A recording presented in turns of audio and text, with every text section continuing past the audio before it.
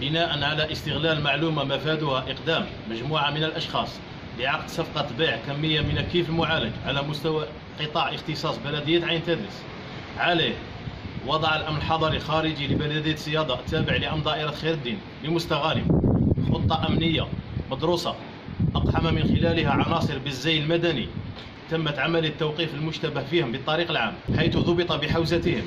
20 صفيحة من الكيف المعالج بوزن إجمالي قدره 2 كيلو و100 غرام. من الكيف بالإضافة إلى ثلاث هواتف نقالة كانت تستخدم في عملية اتصال.